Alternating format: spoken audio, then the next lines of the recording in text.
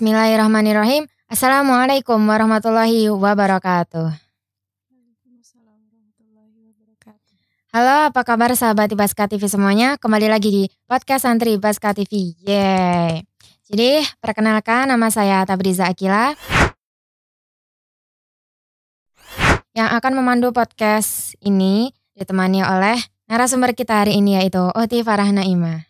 Halo pemirsa Ibaska TV, namaku Farah Naima, biasa dipanggil Farah.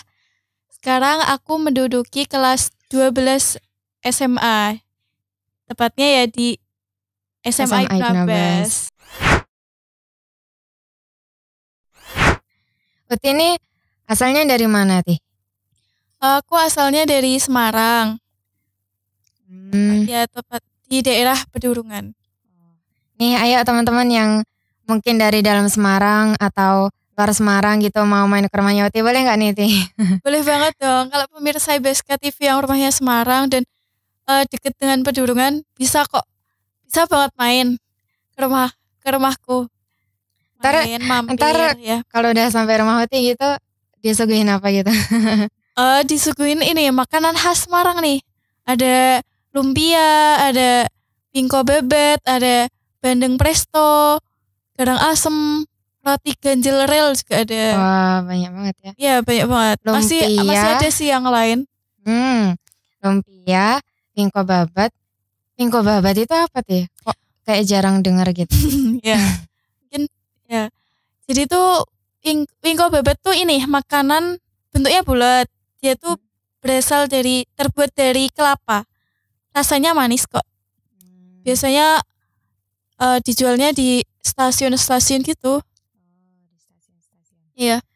Habis itu lumpia, pingko babat, bandeng presto. Bandeng presto itu gimana tadi maksudnya presto? Bandeng presto itu bandeng yang gak ada durinya, yang durinya tuh lunak karena di presto, makanya namanya bandeng presto. Hmm, gitu.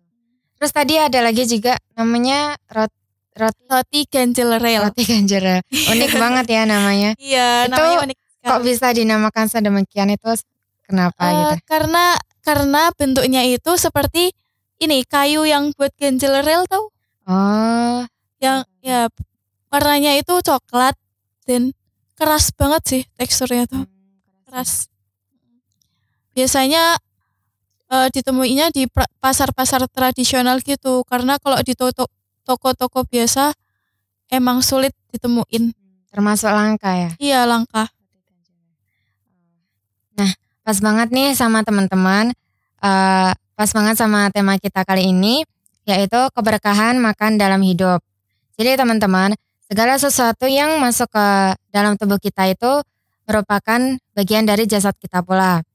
Eh, yang akhirnya juga akan berpengaruh pada gaya hidup kita, pada perbuatan kita, pada perilaku-perilaku kita. Tapi kadang kita masih menjumpai orang-orang yang di luar sana itu eh, mungkin kurang memperhatikan cara memperoleh makanan yang berkah, kurang memperhatikan eh, adab makan, kurang memperhatikan eh, halal haramnya suatu makanan.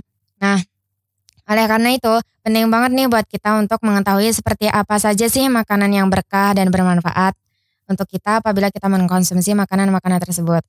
Langsung kita tanya nih ke Uti Farah. Uti Farah, eh, keberkahan itu sebenarnya apa ya?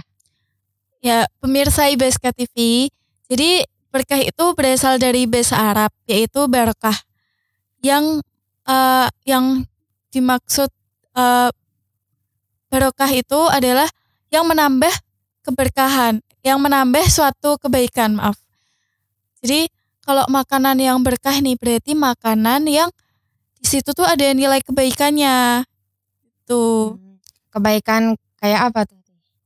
kebaikan yang eh, sesuai dengan kesehatan tubuh kita. Karena dengan tubuh yang sehat, kita tuh semangat 45 kalau eh, melakukan segala aktivitas. Kalau kita sakit kan rasanya males gitu ya kayak ya pokoknya nggak ada semangat semangatnya gitu.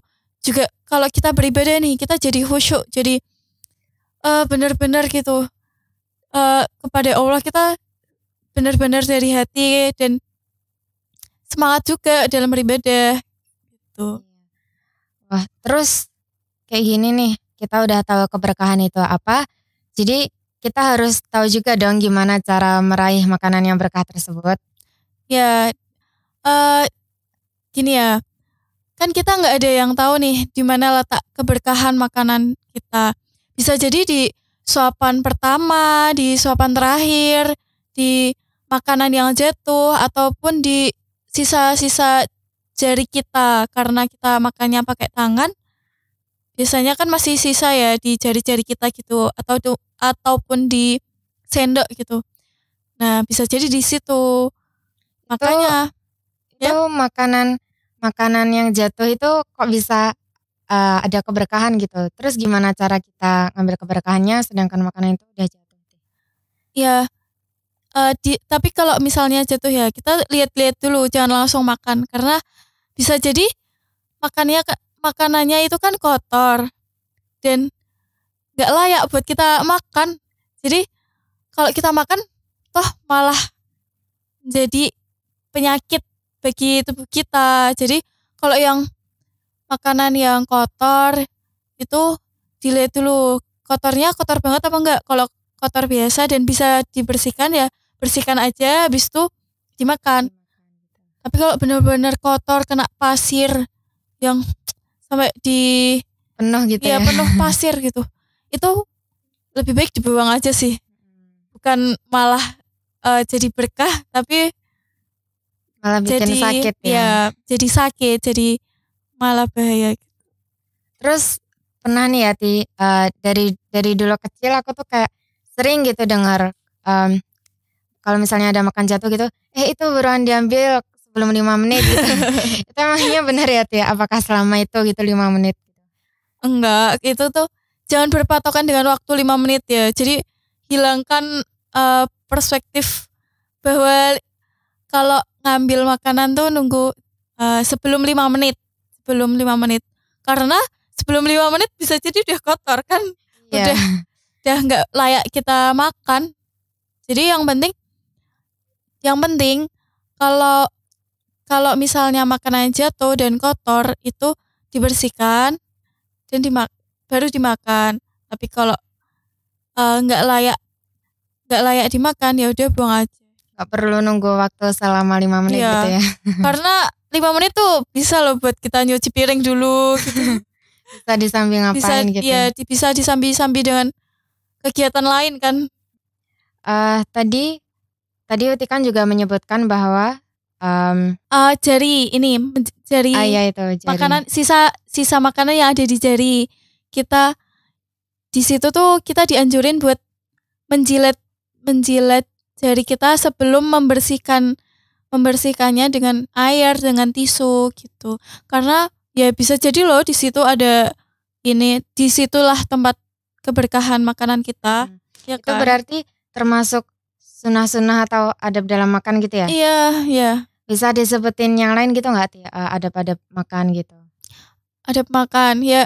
Mungkin dari kecil tuh ini ya pelajaran yang paling umum tuh mesti berkaitan dengan adab makan hmm. kayak kayak doa sebelum makan karena doa sebelum makan itu bertujuan agar makanan kita diberkahi oleh Allah agar makanan kita itu baik bagi tubuh kita gitu.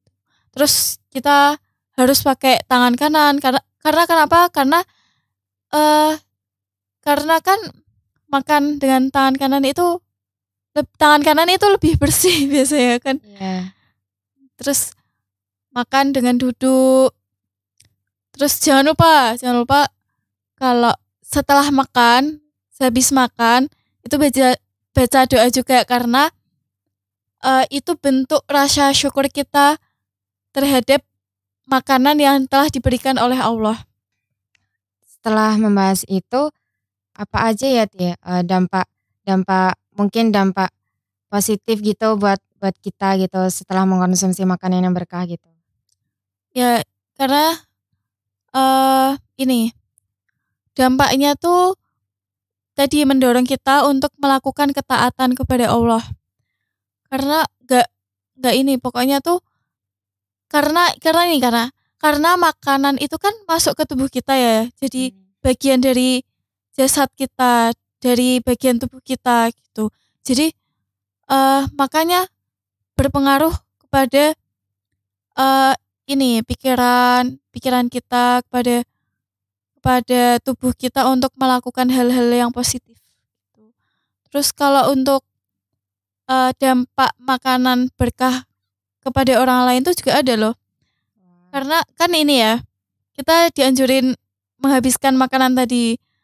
Jadi eh kan banyak nih di luar sana ada teman-teman yang ini sangat-sangatlah berjuang untuk mendapatkan makanan tersebut sampai mengosek-ngosek sampah ataupun ya Memperjuangkan sebutir oh, iya. sebutir gitu. susah banget kan. Nah, dengan kita menghabiskan makanan ya kita berarti mempunyai rasa iba kepada mereka. Terus terus ini nih kan sebelum kita makan makan itu kita dapat sumber daya sumber daya makanannya itu kan dari petani, dari nelayan, terus peternak gitu kan yang udah mereka tuh susah payah menyiapkan sawah mereka, menyiapkan hewan-hewan eh, hewan-hewan ternak mereka dirawat dengan baik-baik hingga jadi eh, hingga kita tuh bisa ini makan daging yang ya, bergizi hasil jerih payahnya gitu. Hmm, dengan jerih payahnya. Jadi kalau kita kalau kita membuang makanan tuh sangat-sangatlah ini sangat-sangatlah nggak menghargai mereka ya sebenarnya. Tapi emang kita sering nggak sadar mungkin ya Ya mungkin secara nggak nggak- sengaja gitu. nggak sampai mikir ke situ. gitu.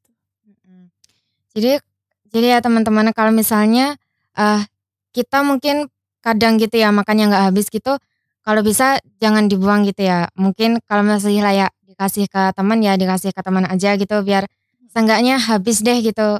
Biar tidak mubazir ya, biar tidak sia-sia gitu. Nah terus bisa ini nggak Ti dikasih contoh gitu makanan-makanan yang tidak berkah supaya kita semua bisa menghindarinya gitu.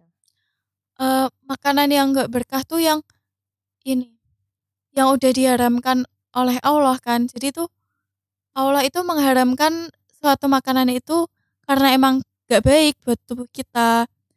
Contohnya ya kayak homer karena itu kan ada alko- apa alkohol yang memabukkan kita, yang bisa memabukkan sehingga kita nggak khusyuk dalam beribadah sehingga kita kehilangan akal Iya. pikiran dan ya udah kita jadi sering berbuat maksiat dan itu karena eh, kita jadi bertemannya dengan setan gitu ya. Dan biasanya orang yang yang mengonsumsi minuman-minuman seperti itu malah justru mendorong kepada kemaksiatan atau kejahatan yang Iya, lain ya, Ti. Kayak Iya. menuntut eh, runtut gitu kayak eh, Iya. berantai gitu. Ya eh, nggak baik karena ya itu karena homer itu nggak baik untuk tubuh kita juga nggak baik buat eh, ini jadi kita tuh interaksi kepada Allahnya jadi kurang kan? Tuh. Hmm, terus? Oh ya makanan makanan yang eh, kita nggak buang itu tuh juga ini bermanfaat bagi alam kita loh. Wah, kok bisa Iya. Ti? iya karena karena gini kita makan dari sebelum kita makan ya kita pasti mak ini pasti kita mengolah makanan tersebut dulu merebus makanannya dulu menggoreng makanannya dulu kan pemirsa. Nah kan eh, merebusnya itu pakai air dari sumber daya alam air. Walaupun air itu melimpah tapi kalau kita membuang makanan berarti sama saja kita menyanyiakan air. Sama Hmm. saja kita menyanyiakan lingkungan dan kita nggak cinta alam Terus eh, ini juga sih, eh, kalau makanan yang udah diolah, yang berminyak, yang bersantan gitu, itu kita buang kan biasanya jadi bau busuk gitu ya. Ya, menimbulkan polusi udara gitu. Karena makanan yang busuk itu mengandung gas metana yang eh, berefek kepada ini, berefek rumah kaca. Hmm. Makanya, makanya bumi kita panas bisa jadi karena Iya, ini iya. ya karena kita membuang makanan. Hmm, bisa jadi. Eh untuk terus oh ya kan kita kalau masak biasanya pakai ini ya kompor gas ya Iya. dan gas tersebut dari gas bumi yang emang susah susah dicari dan emang mahal banget ya jadi kalau Jadi kita nggak boleh banget menyanyiakan Iya. gitu ya. jangan sampai kita membuang makanan ya pemirsa Hmm. Nah, terus eh, ini kadang tuh kan ada ya Ti kalau misalnya misalnya ada makanan jatuh gitu terus ada gitu yang mikir ah biarin lah nggak usah diambil ntar paling juga dimakan semut gitu. ya kalau yang makan itu semut tapi kalau enggak kan jadi dimakan jadi ini ya jadi makanan setan jadi ya malah nggak bermanfaat buat hewannya nggak Mm-mm. jadi Malah sama jamu bazir gitu. ya. iya sama saja mubazir karena mubazir itu ya adalah saudara setan orang yang mubazir gitu Wah. Jadi jadi teman-teman eh mungkin setelah penjelasan panjang lebar tadi ada gitu ya yang lagi galau. Waduh, dulu aku pernah nih nggak eh, makan yang nggak berkah atau nggak halal atau nggak sesuai syariat Islam gitu. Terus gimana tuh Tia? Apakah kita masih bisa memperbaikinya, masih bisa eh mengatasinya gitu? bisa bisa kok insya Allah karena Allah itu maha pengampun ya jadi banyak-banyakin lah mohon ampun kepada Allah ya semoga saja eh, Allah mengampuni dosa-dosa kita dulu mungkin kan dulu kita juga masih kecil kita nggak tahu ya gimana itu mencuri itu boleh atau enggak gitu karena terkadang kita tuh tergoda dengan nafsu kita wah makanannya enak nih kayaknya kalau kita ambil eh, Iya. lumayan Padahal padahal itu cara yang tidak halal buat kita. Gitu. Pokoknya eh kita harus banyak-banyak istighfar, bertobat dengan eh setulus hati lah kepada Allah gitu. Dan eh ingat jangan ulangin lagi kalau udah tahu. Nah, iya bener banget. Jadi ya teman-teman, eh, kalau misalnya teman-teman nih masih galau gitu ya, dulu mungkin pas kecil pernah eh, ambil mangga Pak Lurah atau ambil atau ambil ambil apa aja deh gitu mungkin pernah ambil duit ibunya buat beli permen, buat beli ciki atau buat beli yang lain-lain gitu. Gak apa-apa, jangan khawatir, oke? Karena kita insya Allah masih ada kesempatan untuk memperbaikinya dan ya bertaubat kepada Allah gitu ya. Nah, terus berarti ada pesan-pesan lagi gitu? Ya, jadi pemirsa IBSK TV, eh sebelum kita kita itu perlu banget perlu banget memperhatikan mak- eh, makanan yang akan kita makan, di mana itu kita memperolehnya, caranya gimana, di mana dan bagaimana cara em, cara apa ya?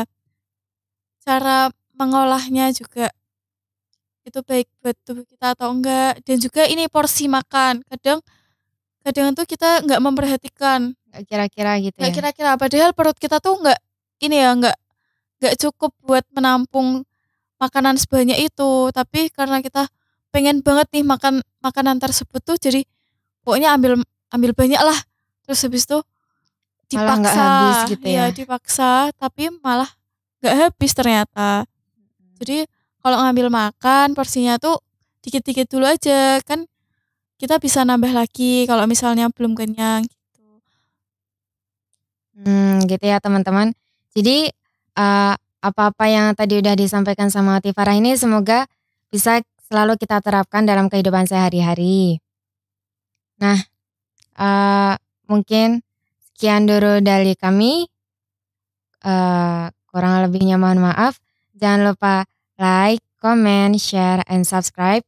Dan nantikan podcast-podcast santri berikutnya. Sekian dari kami. Wassalamualaikum warahmatullahi wabarakatuh.